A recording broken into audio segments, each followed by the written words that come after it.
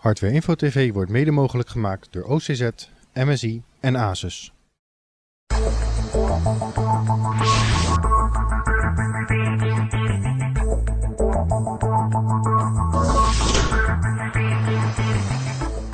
Deze week in Hardware Info TV. Intel's nieuwe Sandy Bridge E-processor en de eerste Intel X79 moederborden.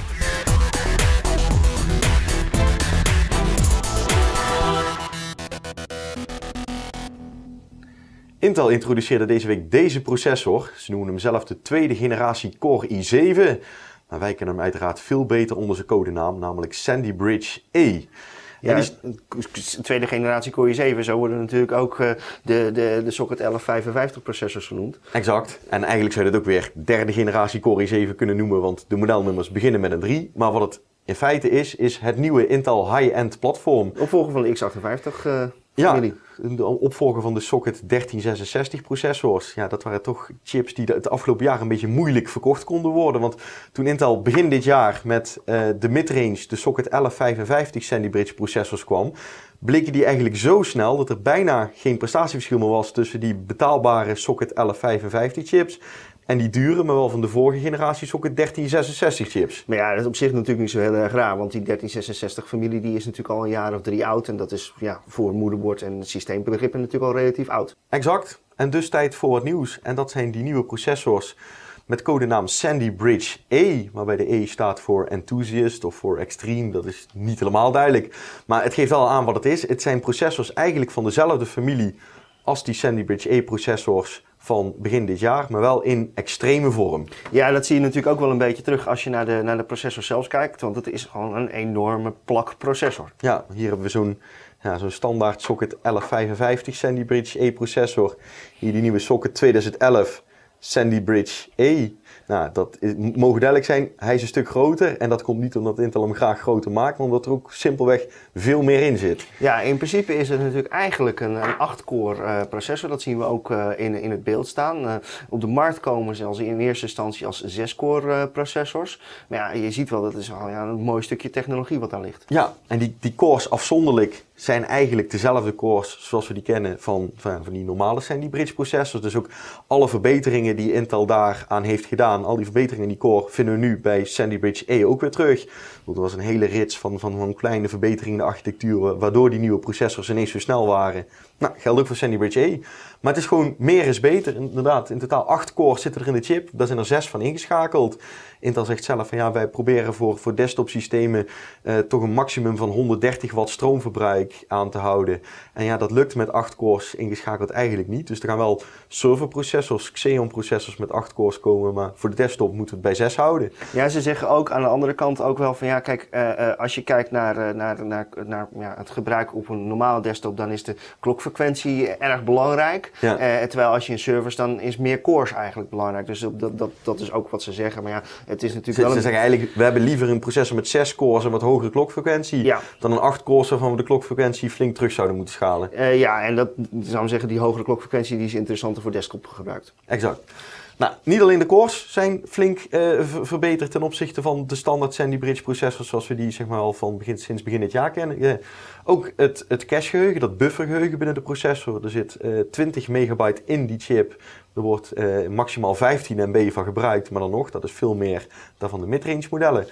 De geheugencontroller, dat is bijzonder, die is quad-channel. Dus dat betekent dat hij vier geheugenmodules tegelijkertijd kan aansturen. Nou ja, dat zie je dus ook meteen al terug als we zo meteen naar de moederborden gaan, uh, gaan, gaan kijken. Je ziet dus aan, bij, aan weerszijden van de processor zie je dus geheugenslot zitten. Ja, en normale processors hebben dual-channel, dus maximaal ja. twee modules tegelijkertijd. In het vorige high-end platform uh, deed er drie, dat was al bijzonder. En dan gaan we nu dus nog een stap verder.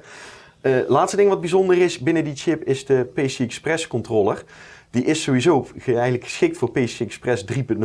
Al wil Intel dat nog niet, uh, eigenlijk nog niet zeggen, omdat die, die, die standaard is nog niet helemaal klaar. En er zijn nog weinig kaarten. Ja, ze kunnen het simpelweg nog niet testen of dat echt het geval is. Maar als je gewoon kijkt naar de specificatie die is gemaakt, is hij geschikt voor PC Express 3.0. Eigenlijk nog veel bijzonderder is dat hij 40 lanes uh, aan boord heeft. En dat betekent dus dat je uh, probleemloos twee videokaarten met de volle 16 lanes kunt aansturen. Maar ook uh, vier videokaarten, dus quad SLI of quad Crossfire met alle kaarten minimaal 8 lanes. Dus dit is wel echt een platform waarop je probleemloos twee, drie of zelfs vier videokaarten kunt combineren. Ja, en wat je natuurlijk ook nog kan, is dat je natuurlijk twee, twee krachtige videokaarten plaatst en dan ook nog even een lekkere ratecontroller erbij zet. Ja, wil PC Express uh, te over. Er komen drie van die processors komen op de markt. Of eigenlijk heel eerlijk, er zijn er nu twee en er komt een derde, maar dat zal op zijn vroegst januari zijn.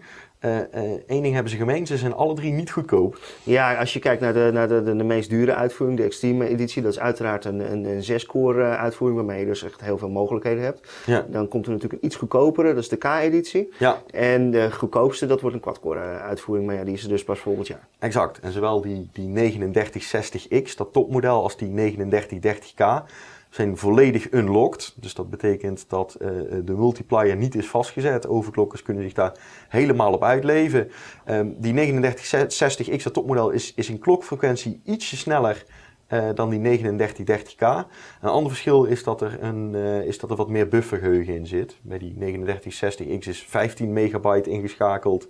En bij de 3930K 12 megabyte. Maar zoals we ja, dadelijk zullen zien bij de benchmarks, zo heel veel verschil maakt dat eigenlijk niet eens. En in prijs is het wel flink, want die 3960X, ja, dat is eigenlijk zoals altijd de beste processor ter wereld. Die gaat richting de 1000 euro. Ja, dat is, dat is altijd een vaste waarde eigenlijk. Ja, e exact. Ik bedoel, wat of een AMD of Intel is, maakt niet uit. De snelste processor kost altijd net geen 1000 euro. Nu ook weer zo'n zo'n zo'n 984 euro gemiddeld staat hier voor in de prijsvergelijker. Die 3930K is, ja, is, is in verhouding een stuk vriendelijker geprijsd. Gemiddeld 550 euro. Is nog altijd heel veel geld voor een processor. Maar ja, van de twee is dat wel overduidelijk de, de meest interessante.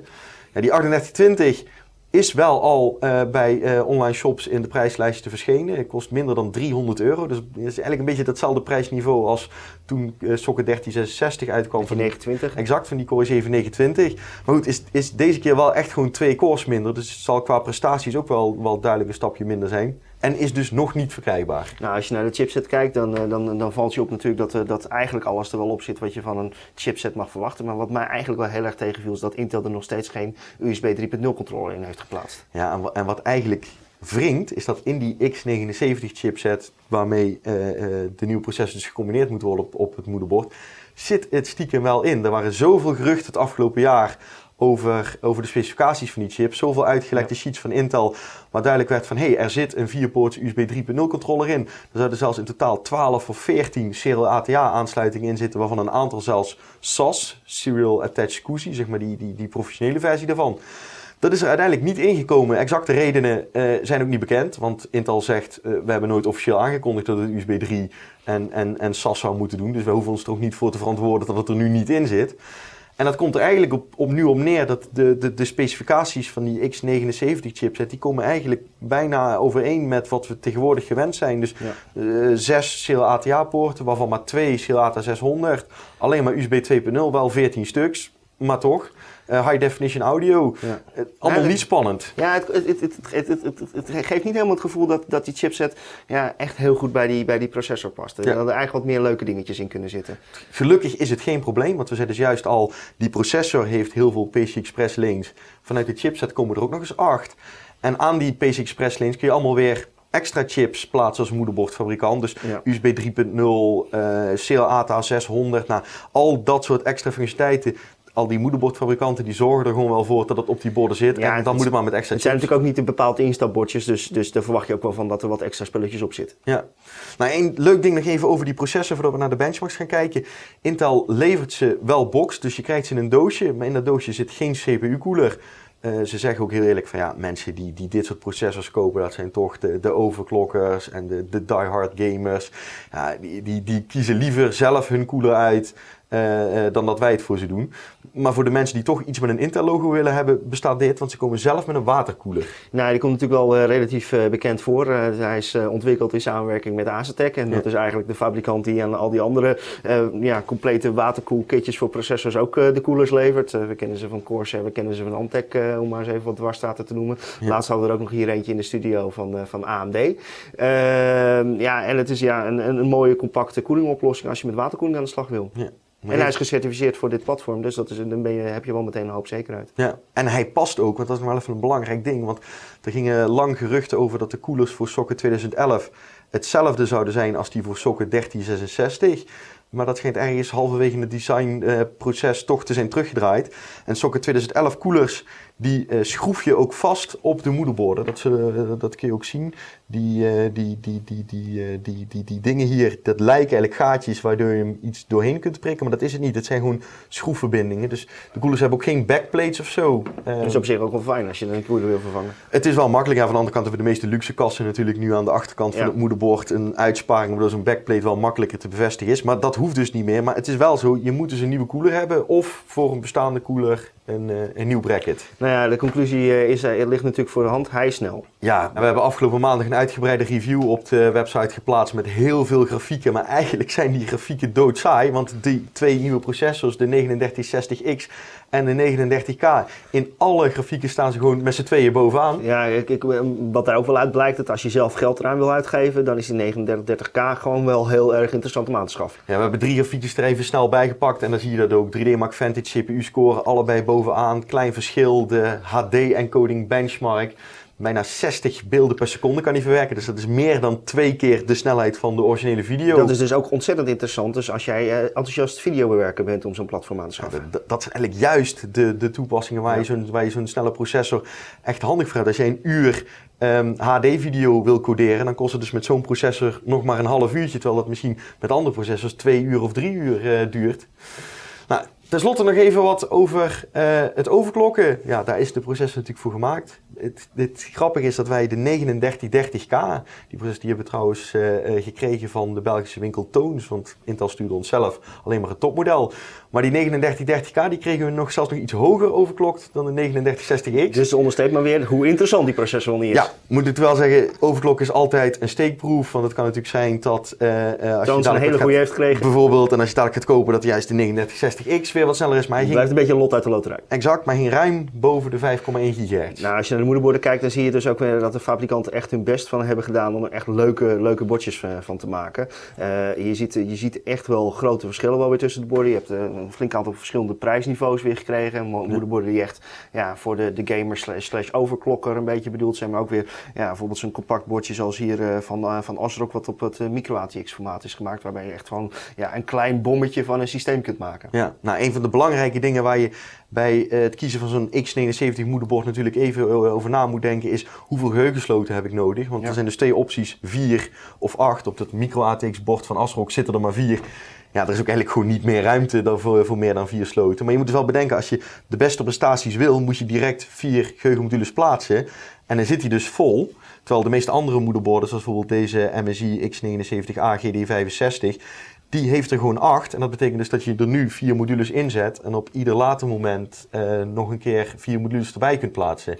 Ja, en het is ook wel, uh, de meeste fabrikanten die komen ook op de markt met uh, speciale quadkits voor het uh, platform. Ja, de, de Corsairs en de, de, de A-Data's, noem ze allemaal maar op. Daar gaan nu heel veel van die, van die quad-kits qua geheugenmodules op de markt komen. Een nou, ander ding waar die moederborden uit, uiteraard flink op verschillen is het aantal USB 3 poorten, het aantal SATA 600 poorten. En in onze uitgebreide review staat ook weer een vergelijkingstabel. Je kunt het allemaal netjes in, uh, in terugvinden. Even goed nadenken wat je ongeveer nodig uh, wil hebben. En ja, kijk, wat je, wat je in, de, in de tijd dat je zo'n systeem gaat, uh, gaat gebruiken, verwacht gaan, te, te, gaan aansluiten. Ja. Eén bord waar we het wel echt nog even kort over moeten hebben, want het is echt heel bijzonder, is die Asus Rampage 4 Extreme. Die ligt daar voor je. Exact. Nou, de, de, Rampage 4 Extreme, het is een Republic of Gamers moederbord waarmee Asus zich zoals altijd op de overklokkers richt. En je merkt dat ze deze keer echt gewoon met overklokkers zijn gaan praten en gaan kijken van, ja, wat willen die mannen nu echt hebben? Een van de hele slimme dingen die ze er bijvoorbeeld bij leveren is dit ding, de OC, de OC-key. Die uh, plaats je uh, op de uitgang van de videokaart. Dus als je de videokaart erop plaatst, nou, schroef je erop vast en daar komt de monitor op. En dan kan dit ding, zeg maar, als een soort onscreen display, zoals je dat ook voor je monitor of je tv uh, kent, kan hij alle, alle instellingen, de klokfrequenties, de temperatuur, de voltages op het beeld toveren. Um, maar je kunt ook met je toetsenbord de OC-key gebruiken om die instellingen hardwarematig aan te passen. Dus tijdens de benchmark heel simpel de, de multipliers en de klokfrequenties uh, gewoon aanpassen. Um, ja, uiteraard uh, ook weer allemaal knopjes en voltagemeetpunten, dat kennen we ook allemaal wel. Een ander ding wat wel echt bijzonder is en even genoemd moet worden, is dit. Uh, uh, diehard overklokkers, die gaan natuurlijk het liefst aan de slag met droog ijs of vloeibare stikstof. Dat zijn temperaturen onder nul. En de standaard temperatuursensors op moederborden en de standaard temperatuursensors die je niet helemaal gemaakt. Die kunnen dat niet helemaal. Dus Ja, dan moet je als overklokker gaan investeren in van die hele dure vloekapparaten die dat wel kunnen meten. Nou, Asus dacht van ja, als Vloek dat los kan verkopen, kunnen wij dat ook op een moederbord zetten. Dus er zitten hier twee van die sensors die geschikt zijn voor temperaturen ver onder nul. Je moet wel, ja, de, de, de echte sensors moet je er nog bij kopen, van die, die kabeltjes die je dan uh, ergens oplakt. Maar je prikt ze hierin en dergelijke metingen zie je dan bijvoorbeeld weer via die OC-key.